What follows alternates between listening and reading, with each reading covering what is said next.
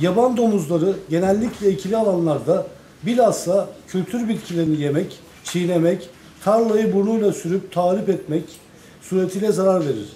Yaban domuzları ile mücadele konusu İl Genel Meclisi'nin köylere yönelik hizmetler ve Orköy Komisyon raporunda yer aldı. Komisyon Başkanı Erdinç Can, yaban domuzu ile mücadelede daha etkin önlemler alınması gerektiğini söyledi. Meclise sunulan domuz zararlarının aza indirilmesi için yapılan çalışmaların yeterli olup olmadığı yönündeki önerge bu ayki meclis toplantısında rapor olarak sunuldu. Komisyon Başkanı Keşan İl Genel Meclis Üyesi Erdinç Can, yaban domuzlarının genellikle ikili alanlara zarar verdiğini, bu konuda çeşitli mücadeleler verildiğini ancak yeterli olmadığını kaydetti. Yaban domuzlarının üreticiler için potansiyel tehlike olmaya devam ettiğini söyleyen Can, üreticilerin kendi imkanlarıyla tedbirler almaya çalıştığını ancak bu konuda daha etkin bir mücadele yapılması gerektiğini ifade etti. Yaban domuzları genellikle ikili alanlarda bilhassa kültür bitkilerini yemek, çiğnemek, tarlayı burnuyla sürüp tahrip etmek suretiyle zarar verir. Çiftçi şikayetleri zararlı yoğunluğu bitki florası incelenerek yabani domuz popülasyonunun zarar eşiğini geçip geçmediği değerlendirmeye alınır.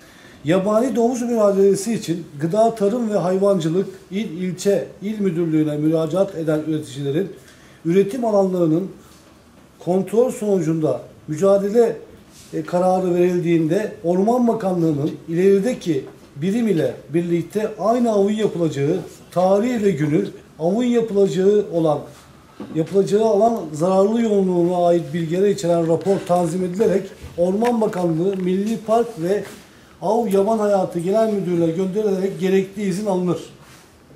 2016 yılında yukarıda bahsedilen zararlar tespit edilerek Büyükdöllük Köyü ile Yeni İmaret Mahallesi üretim ve tarım alanlarını kapsayacak şekilde sürek avı düzenlenmiş olup yaban domuzlarına karşı mücadele verilmiştir.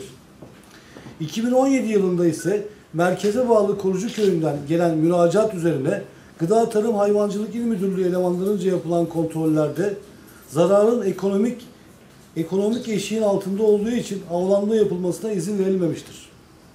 2017 yılında başka üretici ve muhtarlık tarafından yaban domuz zararı ile ilgili İl Gıda Tarım ve Hayvancılık Müdürlüğü'ne müracaat bulunmamıştır.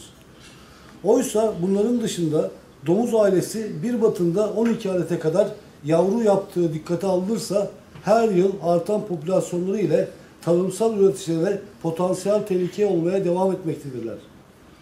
Üreticilerimizin izin, izinli sürek avı dışında kendi metotlarıyla de bu zararlıya karşı mücadele etmektedir.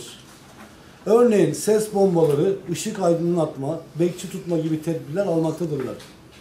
Sonuçta durumdan yoğun bir şekilde sayısal olarak artan bu zararlıya karşı daha etkin önlemler alınması için ilgili kurumların bu konuya daha ön plana almaları komisyonumuzun önerisidir.